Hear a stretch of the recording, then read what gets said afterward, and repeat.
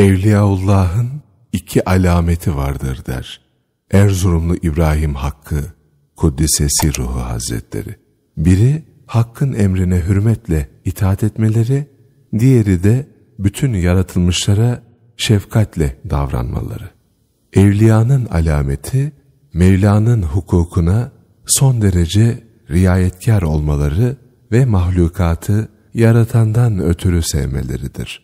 Yine evliyanın alametlerinden bazıları lisanlarındaki tatlılık, sözlerindeki hikmet, güzel ahlak, yüzlerindeki nur ve sevimlilik, bedenlerinin misk ve amber gibi kokmasıdır.